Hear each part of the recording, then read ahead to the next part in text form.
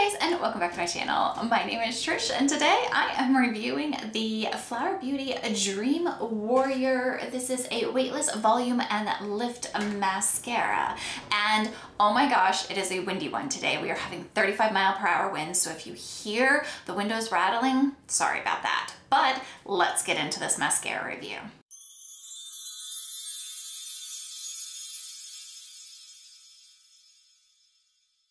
Okay, you guys, so we are reviewing the uh, Flower Beauty Dream Warrior Volumizing Mascara, and this is supposed to have a Cloud Boost technology. Now, I have no idea what Cloud Boost technology is, but I do review mascaras almost every Monday, so I am going to go ahead and review what I know about this, and you guys can tell me if that is the Cloud Boost technology or not.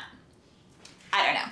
But this is made in Italy if you guys are curious about that. Some people are, some people aren't but I'm just letting you know if you are one of them.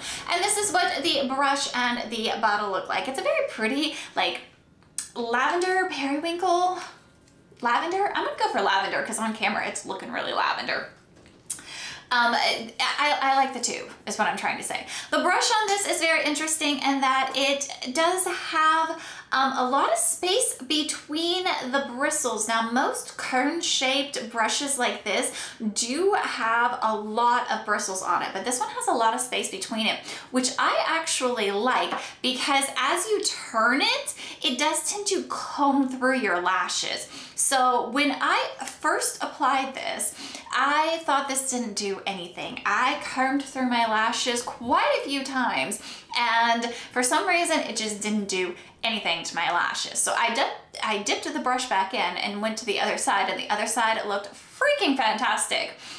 Okay, so I went back to this side and tried it again and I figured out what I was doing with this side was turning it and this side I wasn't. So keep that in mind. You might want to go ahead and turn it because if you're just using one side because there's not a lot of bristles, you're not going to be getting a lot of product on your lashes unless you actually turn it.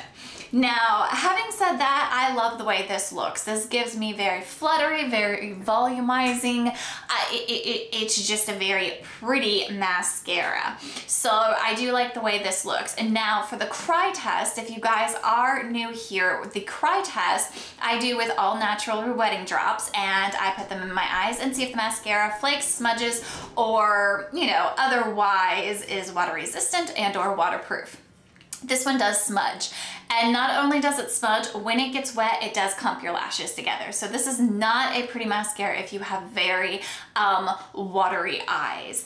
I ride a bike everywhere. I have a very active lifestyle, and I will say with the wind, as windy as it has been here, I have not had any problems with this mascara like smudging underneath my eyes while I'm riding my bike with the wind and the tears and everything else. So you do have to get it quite a bit wet for it to start that, but once it starts, it's not a very pretty mascara longevity, this goes a good 14 hours without flaking on me, which again is very good for an active lifestyle if you do have it. However, around that 14 hour mark, it does start flaking. And it's just small flakes that you can like wipe away, but I will say the flaking does tend to be just a hair bit, hair bit annoying, um, especially if you're out and about and you have to like keep wiping away at it.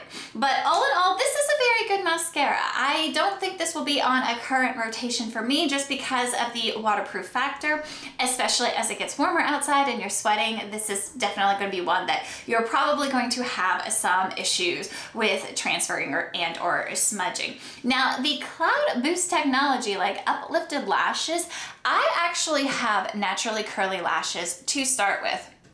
So when I put this on, I do not actually see it like lifting my lashes. And I'm not entirely sure what they're talking about when they're talking about the Cloud Boost technology. I would think that that means that it would like, you know, like curl them, lift them, like make them go up higher here. But For that, the Fenty Beauty Hella Thick Mascara that I just reviewed, um, that one, like my lashes would touch all the way up here. It really did curl, it really did lengthen, it really did lift them. This, I do not see that with. So that is gonna be my quick review on the Flower Beauty Dream Warrior Mascara. Let me know if you guys have tried this one down below. I did have a little bit of a problem like trying to find this. I know Flower Beauty is still in CVS, but my CVS around me does not carry this. I had to actually order it from Ulta, which I didn't want to do. I've been trying to buy things in store as opposed to ordering it online, but that's a whole nother story. So this was a little bit harder to get a hold of, but let me know if you have tried it and let me know what you think of it down in the comments below. And if you like this kind of content, please go ahead and hit that subscribe button. It really does help me out. And while you're at it, go ahead and give this video a thumbs up because hey, it doesn't hurt you and it helps me out. So why not, right? Well, I will see you guys in the next one. Bye.